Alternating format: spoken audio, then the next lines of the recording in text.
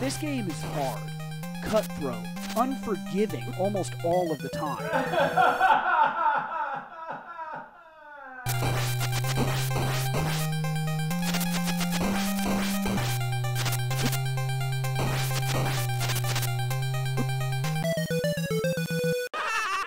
Can remember this game used to make me so mad. Fucking thing. I'm get up out this chair and whoop your ass in real The life. truth of the matter is that it is one of the hardest, but still yet one of the most fun games I have ever played.